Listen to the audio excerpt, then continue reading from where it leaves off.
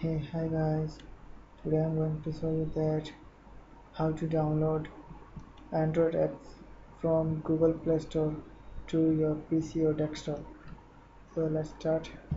First you have to go to Google Play Store. So here whichever application you want to download, just search here like Temple Run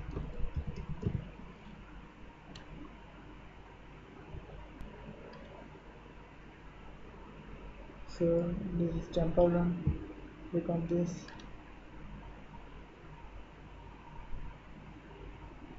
So from here just copy this link. Just copy it and go to some other website. Its name is apps.evozi.com link is given in the description. You can check there so just go to this link.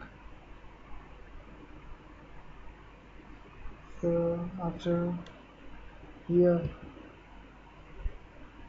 here you have to paste uh, the copied link and generate click on generate download link.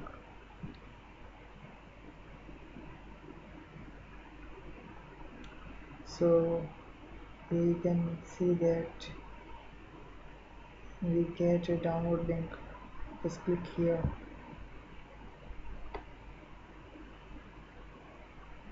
So downloading started.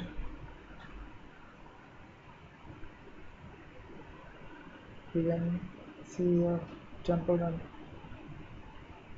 So that's it guys. From this way you can download any application from google play store to directly your pc or your mobile SD card.